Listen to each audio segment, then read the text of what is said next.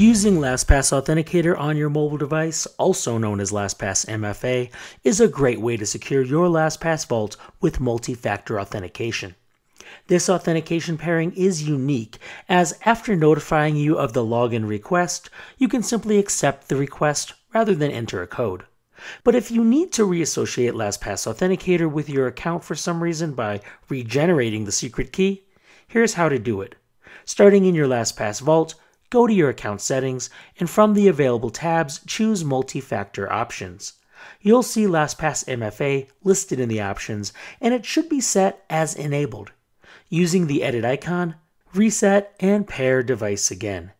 Confirm this with your LastPass master password, and then click on Enroll. A QR code will appear to reassociate LastPass Authenticator with your account.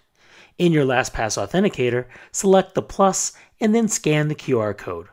Once the QR code is scanned, your LastPass Authenticator is reassociated using the new secret key. Within your LastPass Vault, scroll down and activate two factor authentication. If everything is correct, you'll see your settings are updated. Then OK out, and that's it. If you want to confirm your settings were updated, you can simply log out of your LastPass Vault from your browser extension, and then log back in using two factor authentication. That's it. For more help regenerating secret keys for different multi-factor authenticators, please check out our help documentation at support.lastpass.com.